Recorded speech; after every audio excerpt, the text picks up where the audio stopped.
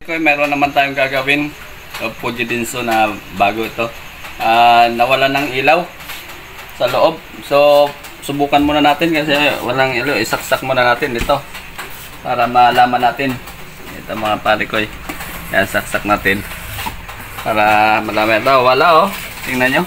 Kahit i-switch natin, wala oh. So, ibig sabihin na pundi siguro ito ang ano dito. Ang ilaw, yung bumbilya. So, ang gagawin natin, tanggalin natin ito. Ah, palitan natin ng bulb. So, ang unang gagawin nyo mga pare ko ay mayroon dito yung bolt. Ayan mga pare ko, ganito lang yung gagawin. Ito lang oh. Ayan. Ikutin lang yan hanggang lumuwag. Yan. Itong bolt mayroong maliit dito eh. Oh, yan. Tapos, pag nakuha na yung bolt, tanggalin na ito, ipitin lang oh. Ganyan lang kadali. Yan. Tapos ito yung ano niya, bombilya.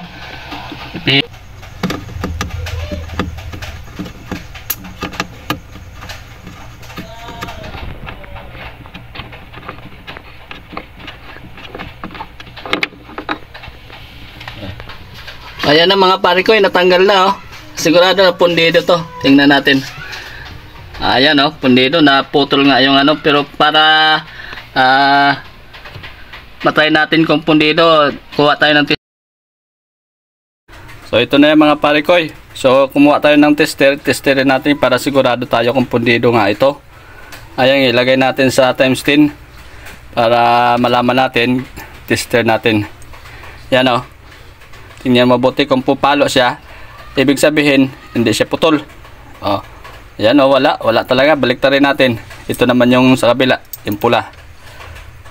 Wala. Wala talaga oh. Wala talaga mga pare ko eh. O yan oh.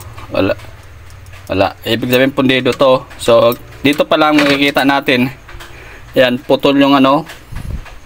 Putol yung filament niya. Tingnan nyo. Kaya, hindi talaga siya mag ano doon mag-iilaw.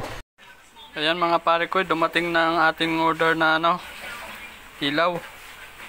Yan, ilalagay na natin ito sa ref. Sige. O ito, kunin natin, ilagay na natin to di, dito. Bago. Yan. Yan lang paglagay. Hello. Siyempre, punutin muna sa saksakan para iwas kuryente. Ayan, ikutin lang counterclockwise. Ayan. Higpitan siya. Ayan pag lagay niya, no? Higpitan. Tapos, try na. Isaksak na natin. Subukan natin kung okay siya. Yan. Yan. O yun, okay na. Ah, ganun na, ilaw na. Ayan, no? Oh, oh. So, oh, okay. So, takpan na natin. Yan. May bolt naman yan. Ito. So, ganyan lang.